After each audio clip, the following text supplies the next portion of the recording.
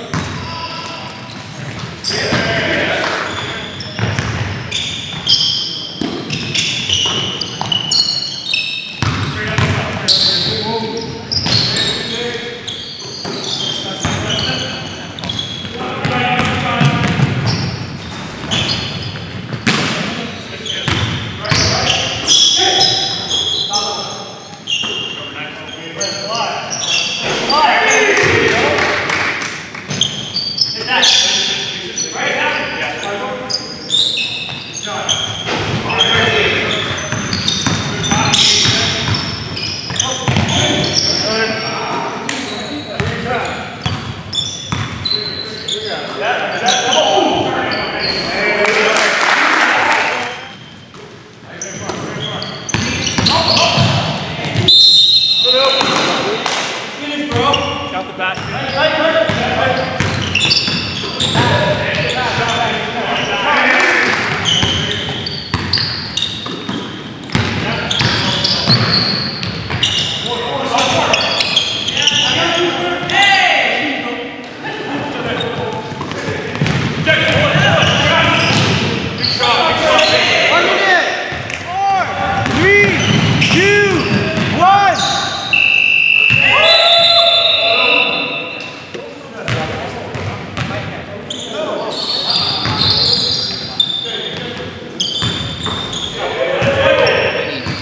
10 second shot clock.